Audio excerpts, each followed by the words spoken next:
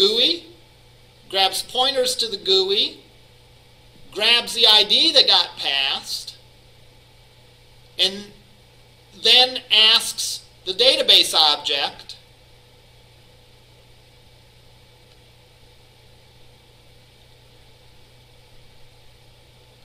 to return the one contact that was selected.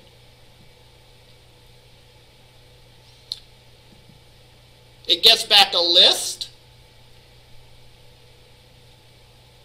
But by definition, we know there's only one item on the list. So we pull, or we, we point to the first item on the list, and we grab the properties out of that, and we set those elements on the screen to the values that we pulled from the cursor. So that is, in a nutshell, the view mode. All the other ones are going to look real similar to this because by all the other ones I mean the add, the edit, and the delete. Because all of those are doing the same thing. We're going to take and we're going to um, initiate another activity. We're going to pass data to it. That activity is going to, retrieve that row, populate it in the GUI um, using the database object. Now, a couple of things that I want to bring out about this. we'll look at two more things before we look at the next activity. Number one,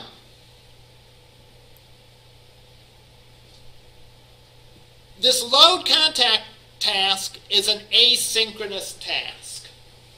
All right? Let's make sure we understand what that means and make sure we understand why we're doing it. Maybe you had CISS 232, the client server scripting. In that we talk about AJAX, which is asynchronous JavaScript. What does an asynchronous task mean here?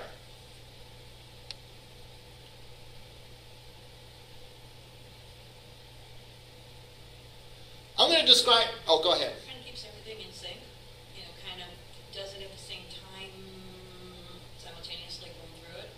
Um, Kind of so. it, it does relate to the timing of the activity. All right. Um, let's let's try to be a little more precise though. Which of these is an example of an asynchronous activity? I'll give you two choices. One choice is a phone conversation where I call you up on the phone and we talk about something. The other would be where I call, leave you a voicemail, and then you call me back. Which one is asynchronous? The second one is asynchronous. Asynchronous means not at the same time. All right? In fact, maybe a better analogy would be I could call, leave you a voicemail message asking you a series of questions. You could call back and leave me a voicemail message responding to them. That's asynchronous. Is asynchronous A, the prefix meaning not? Because we don't have to be there at the same time for this transaction to take place. All right? I can call you, you can be off doing whatever. I can call you and leave you a voicemail message. After I do that, I can go about my business and when your response comes and I see my little light light up on my voicemail, I can then go and pick up and get your answer and then do whatever I need to with that. That's the same idea here. In other words, this database operation that we're going to perform is asynchronous. So, we're doing it in the background. It's a background process. So, when I load, when I want to load this contact, I create this object and all that, and I specify do in background. This is like leaving this object a voicemail message saying, hey, can you retrieve me the contact information for contact number five? So I've left that voicemail message here. All right? I then, and by me, I mean this activity can go about its business until it gets a response back. It doesn't have to sit there and wait for that object to respond back. All right?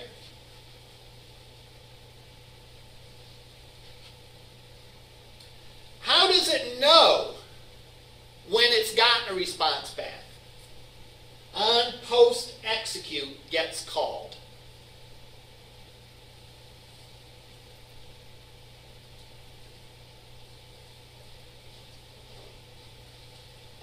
Think of this as being like the light on your voicemail. All right, or a little indicator on your on your cell phone saying, "Hey, you got you got a voicemail." I start this process, I, I put my call, my asynchronous call, I tell that class, I want some information from you, and then I'm done. I sit there and wait until it responds. Or, I'm sorry, I don't sit there and wait. I sit and go about any other business I have going on until it calls back. When it calls back, this on post execute gets called. And then what we can do is we can take the results and display them, which is what we're doing here. Now, why do we do this? Why is this call to a database an asynchronous call? Why don't we just call the function and wait there like we do with all other functions? Instead, we make the call, we go about our business, and then when the response comes, this method gets invoked and we can go and finish the job. Why do we need an asynchronous call here? Does that have to do with the size of the database and retrieval on that end may take longer to return the data back? Okay, good point that, that, that's a good portion of the answer. And that is that this process could take a little while, a little while as defined in computer terms, right? You know, uh, you know, uh, uh, longer than, uh, you know, longer than just some like simple math statement or whatever. So the, the, to get the answer, it might take a little while, you know. So, what does then that have to do with us making it an asynchronous task, the fact that it might take a while to respond. You're not waiting on You're not waiting on the response, which means that you can do other things. For example, and again, all these things are happening very fast on human terms, but slower on the computer term, you know. Let's say I am going to retrieve this and it takes a split second and I decide, hey, I want to back out of this and I hit the back button to go to the previous activity. If my application was sitting there waiting, if I made a synchronous call to that method and I was sitting there waiting for the answer and I would not be able to handle any of the user's input. And I'd get one of those errors saying application not responding. We've seen this sort of thing also, like when we talked about a game processing. When we talked about a game processing, we had these threads, all right, for a similar reason. And that is that we wanted to be able to handle the user input while we're moving the, the pieces around, the game pieces around the screen. So that one where we were shooting our cannon, all right, we had the targets moving back and forth. That was done as a thread because we didn't want the fact that those were moving back and forth to influence the ability for the application to respond to the user input, the user aiming the cannon or shooting the cannon. So it's sort of the same idea here. It's good practice anytime you're doing something other than user input, all right, to run it as a thread or to run it as a background task. That way, your application can still respond to the user input. All right? So that's one, that's why we do this as a background uh, application, or uh, as a background task, rather. The other thing that I want to look at in this is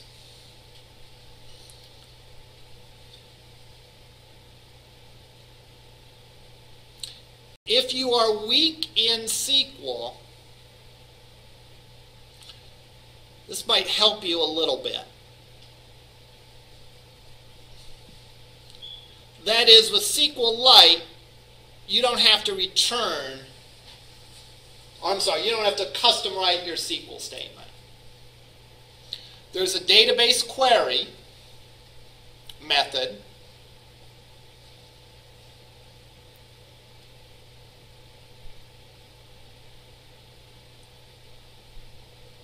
where you supply parameters and it generates a SQL statement to pull it up. So, for example, let me use IntelliSense.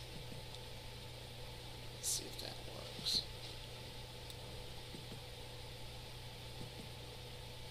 In this query, we can kind of make some assumptions. That first field in the query is the table that we want to query. The second field is a list of the fields or the columns that we want to pull from that table. Because we put null, we're going to get all of them.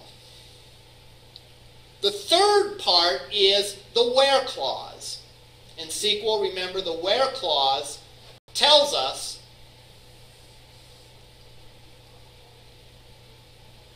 which particular item we're going to get. In this case, which contact do we want to get? We want to get the one whose ID matches the ID that we've asked for. The various nulls relate to other clauses in the SQL statement. All right, such as the group by, the order by, and so on. I'm not sure of exactly the order of those, but if you look in the documentation, it will tell you. So this is a very clever way to help you write SQL statements even if you don't know SQL. All right?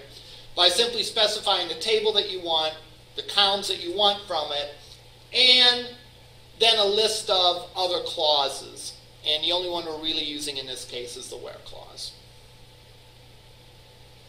Question about that?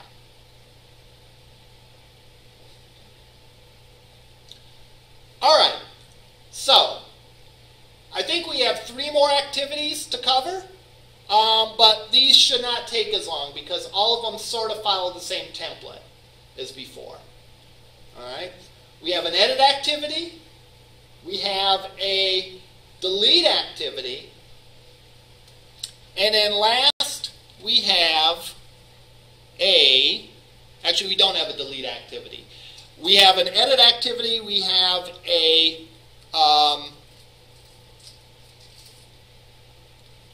add activity. Both of those are handled by the same object. And then we have a delete, which is not a separate activity, but it's just handled through the code. If we look here,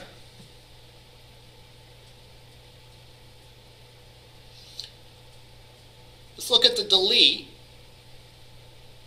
because on our list, we create an option menu. And that option menu has two choices. Oh, I'm sorry, on this guy, on the view. Our option menu has two choices.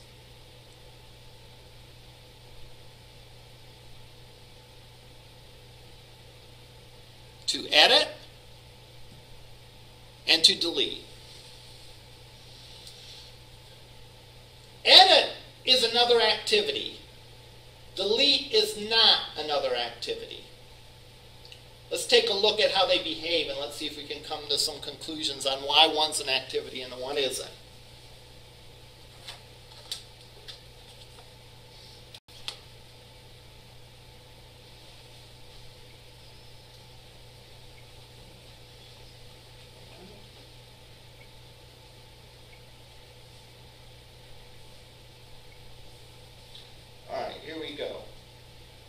click on this, we bring up the detail information. We can go to the menu and we we can edit and delete. If we edit it, we get our screen. We can go and save it.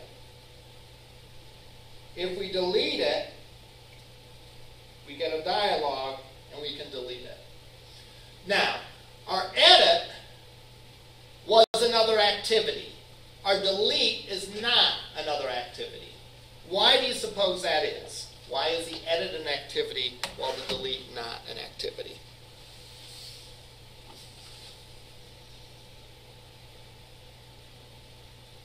Let's go back to our definition of activity. Definition of activity is more or less we're asking the user to do something. We're asking the user to, to do something, to, to fill in a form, to interact with a, a screen, whatever. All right? So it should be pretty obvious why the edit is an activity. Right? The edit's an activity because we want to pull up we want to do very similar to what we've done in the case of the view, except we want, instead of labels, to be text boxes where we can go and actually change the name and address and, and email and so on. So it should be pretty obvious why the edit is an activity. Why isn't the delete activity? We're asking the user to do something, right? We're asking the user to confirm the delete. But that's really not that big of a deal, right? That's not an activity for the user, that can probably be just as well accomplished via a dialogue, via an alert that pops up and says, are you sure you want to do that? So there's not really an involved interaction with the delete with the user. With the edit, you give the ability to make changes and all those sorts of things. Yeah, that's kind of an involved, act, it's truly an activity, something you want the, the user to do. In the case of delete, though, the only thing you're asking the user is a confirmation. So therefore, if we look at the delete, the delete simply builds a, an alert. And if the user answers yes, it creates a, another async task for the same reasons that we did before and calls on the database connector object to actually do the delete. If we look at the database connector object, that delete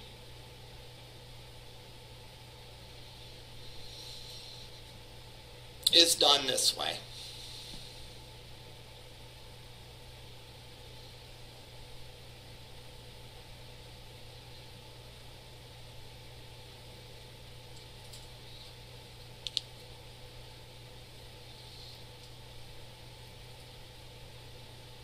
All right.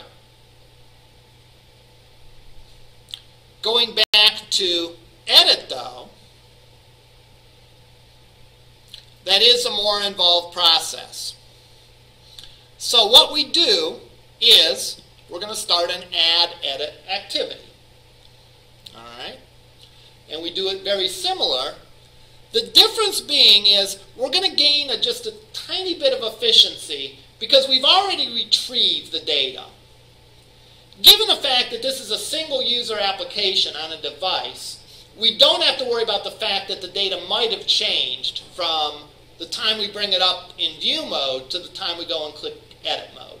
So we don't really need to, um, what do I want to say? We don't really need to re-retrieve it in the edit view.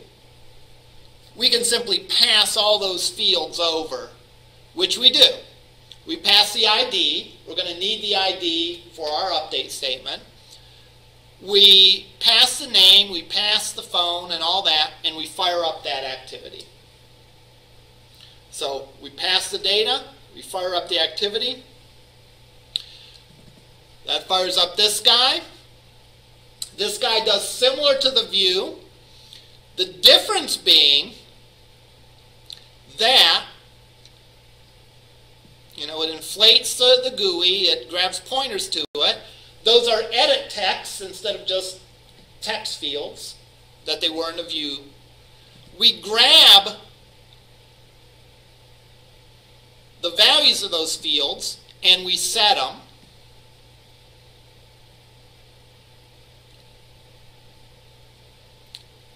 we first check to see if any values were passed.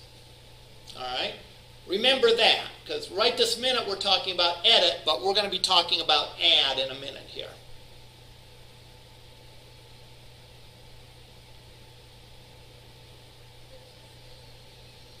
Finally, we go and we look and we go and we do our save background.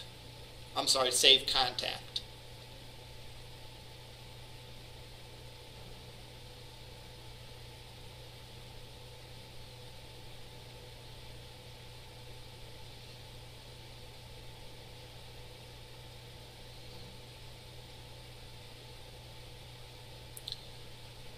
Now, there's a couple lines of code in here because this routine is the same for adds as it is for edits. If you think about this, what's the difference between an add and an edit in this application? There's two differences. Difference number one is when I edit, I click on this,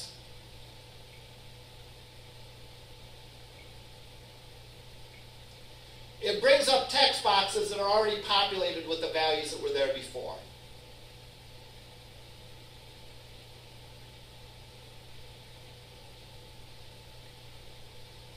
As opposed if I click add, it starts out with an empty slate. So edit brings up the values that were there before, add starts with an empty slate. The other difference relates to the SQL statement that's going to get called. If I'm adding, I'm going to do an insert statement. If I am editing, I'm going to do an update statement.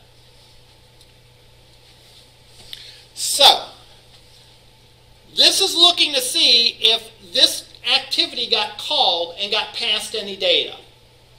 If it got passed any data, then this must be an update. So I'm going to populate those text boxes with the values I got passed. And by the same token,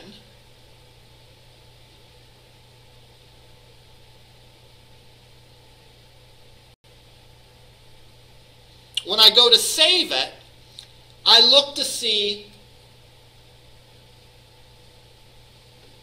if this guy got passed with values or not. If it didn't get passed with values, then I call an insert because we started with a blank slate. We need to insert a new guy. Otherwise, we're doing an update and we call the update method to go in and update that.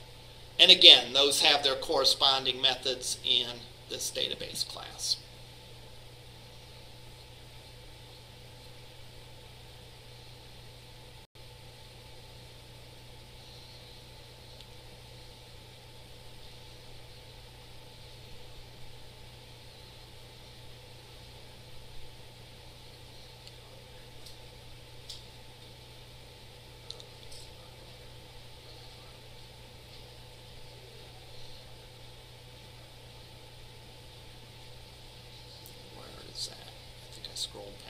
Here's the insert. It's executing an insert. Here is the update. And I'm executing the update.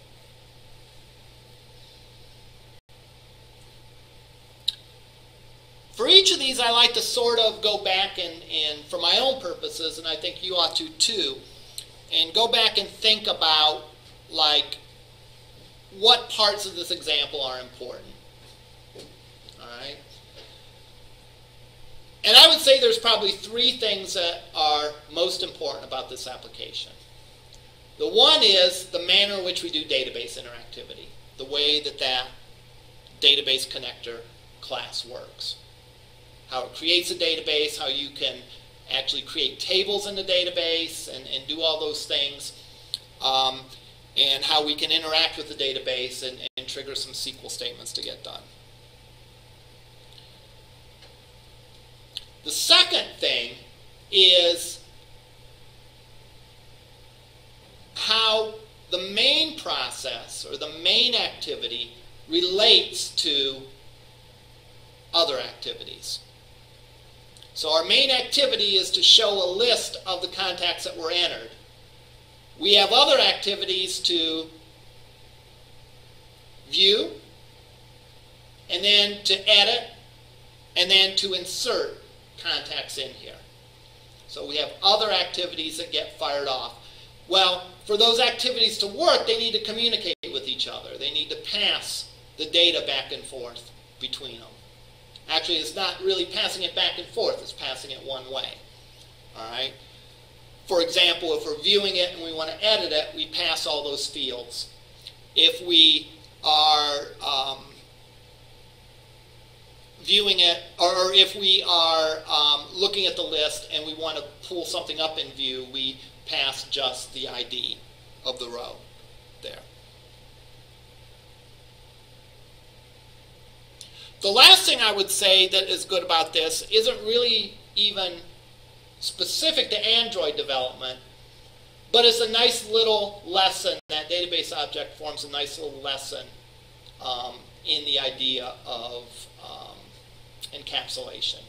The database class does all of the database interactivity for this, and the, all the views simply call the methods on it. Um, I guess if I was going to add another thing that's important about this is again a review of that asynchronous task and the reason for that and how that's invoked. Anytime something that looks like it could take a long time, um, so that the application can do other things. Um, it doesn't have to sit and wait for that to finish. It can go do other things, and it'll get a callback uh, from the class when that asynchronous task finish. In fact, that's typically what they call that. They call it a callback function. And you'll see this a lot. Um, again, if you do Ajax development, there's callback functions. You know, the whole idea is, is we want to shoot these activities out there. We want to shoot these asynchronous tasks out there, but we don't want to be just sitting there waiting by the phone, so to speak, for the answer to come. So therefore, we give sort of our return phone number. That is, we give a callback function. And when that asynchronous task finishes, that function gets fired off. Now again, the mechanism in Ajax is a little bit different here, but the concept of the callback function um, is the same. Any questions at this point? Alrighty. Um, that's all I had today. We'll, we'll get headed to lab. Oh, you, you quiz. Um, your your third and final quiz. Well, your third quiz, your last before the final, will be like end of this week, similar to the mode that we did before.